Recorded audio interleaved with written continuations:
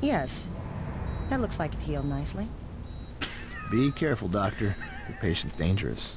You got anything you want to say to the judge, you better start thinking of it now.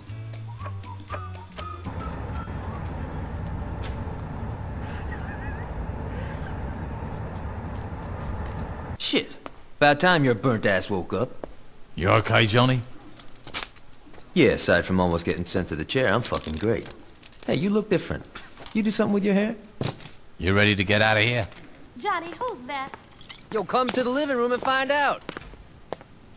Johnny, I don't care if you just broke out of jail. You do not mess with my furniture. Oh my god. It's you. Surprised, Aisha? What? That you're here? Or that you're talking? Pick one. We all thought you were dead. I almost was. Well, for someone who was blown to hell, you look great. Did you do something with your hair? Yeah, I've been getting that a lot. Yo, can we get back to business? nearby.